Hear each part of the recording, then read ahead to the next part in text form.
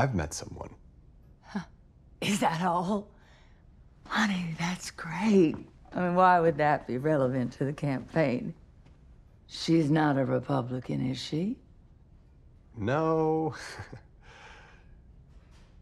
She's also a he, and he happens to be Henry.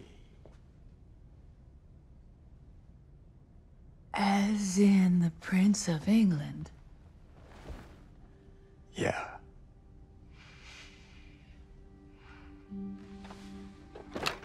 Oh, I'm. We're gonna need some pizza.